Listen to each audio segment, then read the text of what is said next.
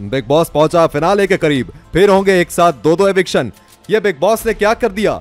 Winner की race से एक नहीं दो दो लोग होंगे बाहर। एलिमिनेशन में ट्विस्ट ग्रैंड फिनाले से पहले बेघर हो गए ट्रॉफी के ये दावेदार। अनिल कपूर द्वारा होस्ट किए जाने वाला show Bigg Boss OTT season three पिछले कुछ दिनों से कई वजहों को लेकर चर्चा में है।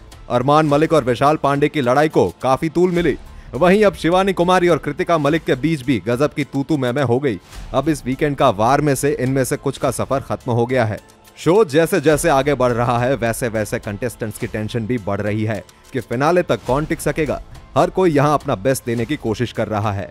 Bigg Boss O T three में इस वीक विशाल पांडे, लवकेश कटारिया और शिवानी कुमारी नॉमिनेटेड कंटेस्टेंट्स हैं। इनमें से एक नहीं, बल्कि दो का सफ़र खत्म हो चुका है। अरमान मलिक और विशाल पांडे की लड़ाई को काफ़ी तूल मिली।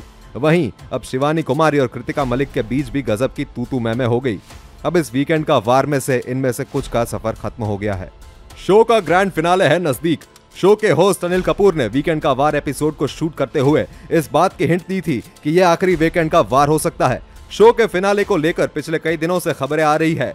यही वजह है कि मेकर्स डबल एविक्शन करते हुए शो को ग्रैंड फिनाले तक लेकर जा रहे हैं। आपको बता दें कि अनिल कपूर उन कंटेस्टेंट्स का नाम अनाउंस करेंगे, जिनका शो में आखिरी सफ़र होगा। लवकेश, विशाल और शिवानी में से विशाल पांडे का सफ़र खत्म हो चुका है। मेकर्स ने पहले उनके एलिमिनेशन की जानकारी दी थी, बाद में पोस्ट डिलीट कर दी थी। हालाँकि बिग बॉस की पल पल की खबरें देने वाले फ़ैन पेज की ओर से जानकारी आई है कि विशाल एलिमिनेट हो चुके हैं।